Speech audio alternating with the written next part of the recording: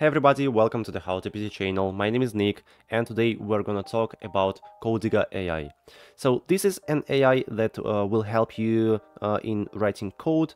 Um, you can even integrate this AI into your uh, IDE, for example, uh, add it to uh, Visual Studio Code or to Visual Studio.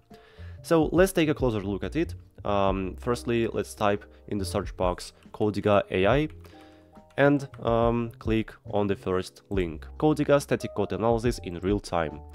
Click on it and here's the official website. Um, home of clear and safe code. Static code analysis, this is how it looks like, works everywhere, uh, auto-fix code, real-time and security focused. For example, free IDs, uh, there you can integrate uh, this tool and uh, free platforms. Okay, uh, custom analysis rules, your own static code analysis rules, share your code analysis rules, real time, increase your team's code quality, and works every there. Of course, security analysis, uh, there are also uh, four benefits, automated code reviews, uh, here's an example how it looks like, and code uh, snippets, of course. You can easily create a snippet with this tool. Codiga in the software development lifecycle we support the most popular languages and libraries C, C Sharp, uh, PHP, Python, JavaScript, and so on. Okay, and now let's try to uh, get Codiga.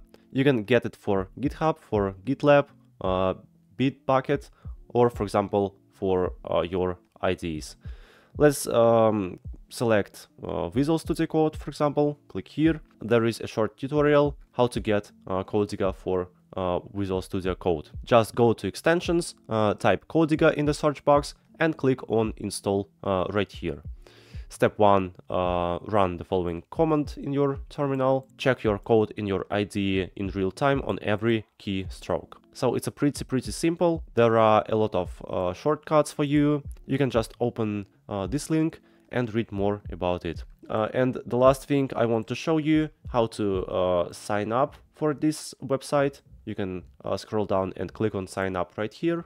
And here you need to uh, fill uh, these um, fields. Select your primary uh, language or uh, languages your organization uses, what's your name, type here your uh, work email address, your company name, and answer on this question. And after that, just click on submit.